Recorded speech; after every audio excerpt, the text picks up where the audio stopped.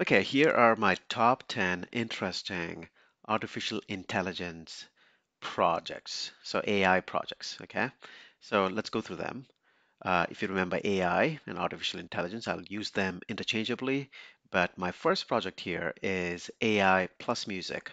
So there is this uh, uh, group of musicians uh, by the name Ambassadors, Ella King, and Wiz Khalifa who produced a single called Not Easy. Okay, so it uh, debuted, I think, on iTunes uh, Hot Tracks at number four. And uh, you know what they did? They together as a group, along with data scientists and AI engineers, looked at conversations, newspaper titles, lectures uh, based on the main theme, which was heartbreak. Okay, after after they looked at it, they found musical elements which gave them ideas on how this piece should sound. Pretty crazy, yeah? So using machines and artificial intelligence to come up with the right kind of music, or the music which might be popular. Okay. Number two, AI and driving. So we have Volvo, the brand, who has claimed apparently this uh, this car of theirs can actually do job interviews. So uh, what they're trying to prove is that this machine, which they have, uh, the brains within their car can actually uh, run uh, enough AI, artificial intelligence, that it can actually have a conversation with you or even take your own job interview. But that sounds a little far-fetched, I would say, but it's here. Um, but practically, they have uh, servicing going on of cars uh, proactively. What does that mean? They would, uh, before the car actually break down, uh, breaks down, what they would do is send all that information to their AI engine and figure out if it needs servicing, right? So all that information they use for sending cars for servicing. Uh, not only do they have uh, uh, driverless cars uh, uh, right now, like Tesla, for example, Tesla has its own driverless car, uh, or you know, um, the AI around that is just amazing. You probably have heard about it already. We have driverless trucks now.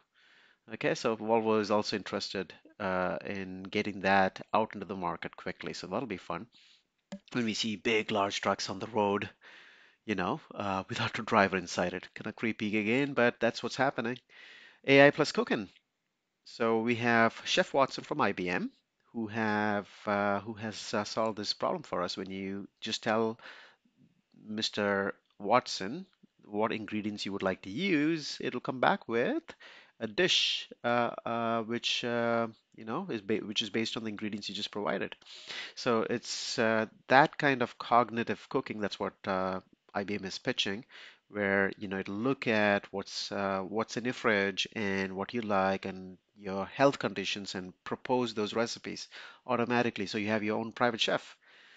Okay, number four is AI plus farming. This is kind of cool because you know what John Deere, the other company who is into AI, I think they just bought this uh, startup.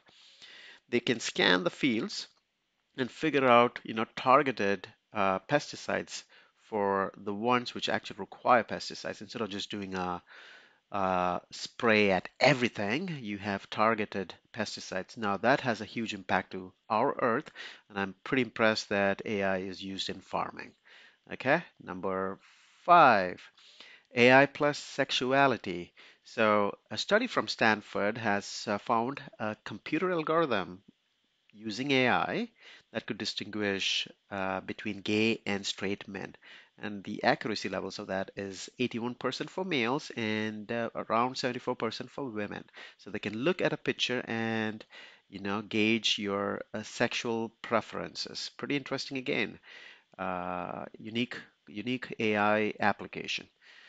Now we have another one uh, again large uh, company like Facebook who has uh, figured out based on the posts you do and the timing of the post and the content of the post and the person who's posting if you are you know in distress there if you exhibit any sort of uh, you know suicidal tendencies or uh, anything which you might do uh, in terms of an extreme behavior which could affect people around you.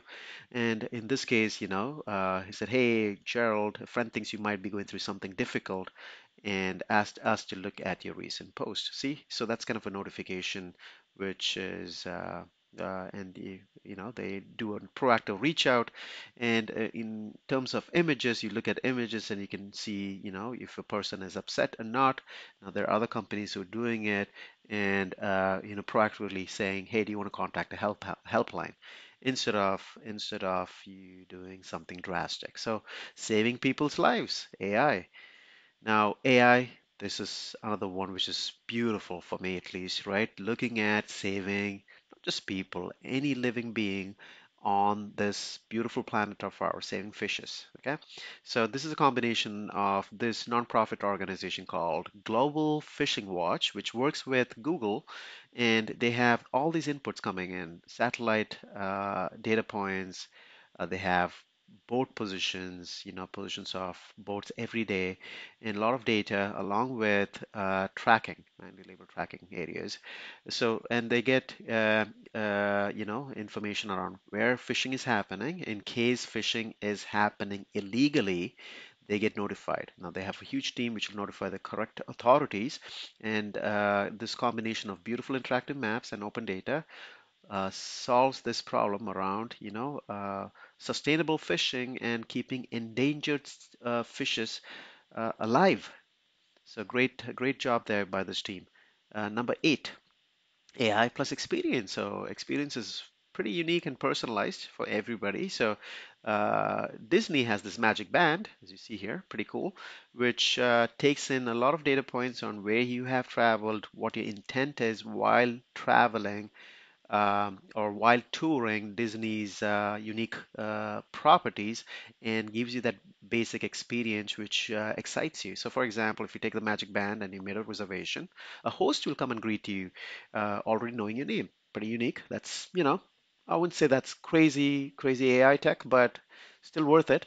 But not only that, you don't have to wait in line. So they see, wait for you to walk across the property, and by the time you reach the property, they will uh, route the traffic so that you have the best experience, right? So best experience, your preference, all, all you know, tailored for you.